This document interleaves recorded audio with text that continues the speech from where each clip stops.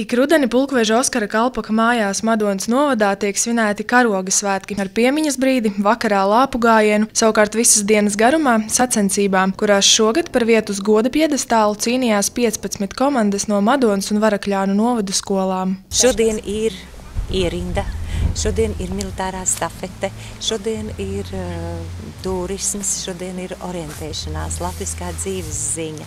Uzticamais draugs pie mums ir ar sunīšiem, ciemos uh, trenere, kura rāda, kā sadarboties un kas palīdzētu bērniem arī komandā sadarboties. Spēka dziesma pirtiņā, um, patriotiskā dziesma, uh, dari, ko vari par godu mūsu olimpiešiem, ko arī šogad neesam aizmirsuši. Tās aktivitātes, tas ir tāds rūdījums, kad gan fiziski tev jābūt spēcīgam, gan tev jāprot psiholoģiski ar sevi tik galā. Man vispār uh, ļoti patīk, jo te var ar suņiem izteigāties, te var izskrieties izrāpoties, izdziedāties. Tev patīk arī tās visas militārās lietas? Arī? Jā, pilnīgi patīk.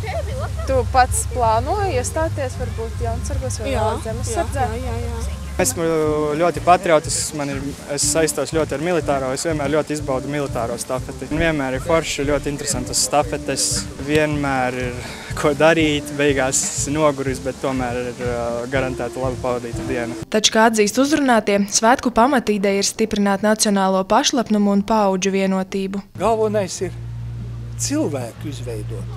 Viņi veidojās kā šīs valsts pilsoņi ar zināmām spējām, zināmās situācijās darboties, kā to darīja kalpaks, kā to darīja kalpaka karavīri un arī karogu svētki.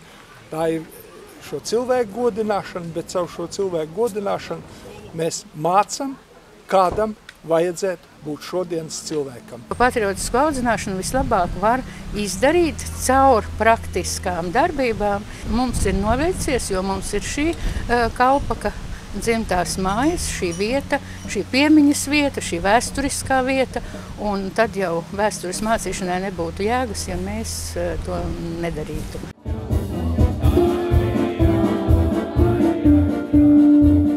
Ramons Zariņēvs Cāzars RTV.